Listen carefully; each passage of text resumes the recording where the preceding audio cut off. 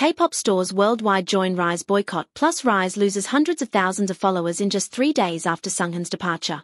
SM has been getting a lot of heat for the handling of Seunghan's return and ultimate departure from RIIZE.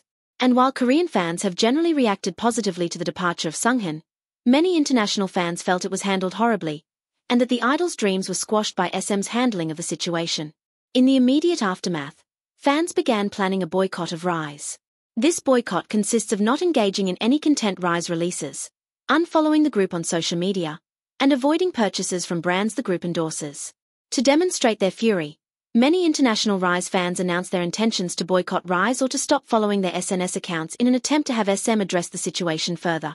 Since the boycott began, the group's account on X has gone from 810,000 to 730,000 as of writing, a negative change of 79,000.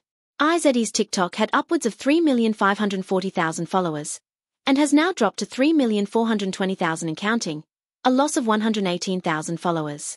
The group's Instagram account has dropped by 213,800, with current live following count at 3,930,000 as of writing.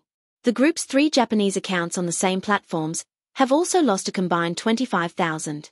RIIZE's Spotify and YouTube channels have also been impacted, resulting in a loss of 19,000 25,000 followers respectively. This brings the total amount lost on these platforms to 480,000, just shy of half a million. These results in this time frame show exactly how serious fans are about the boycott, all in the hopes of Seunghan's return.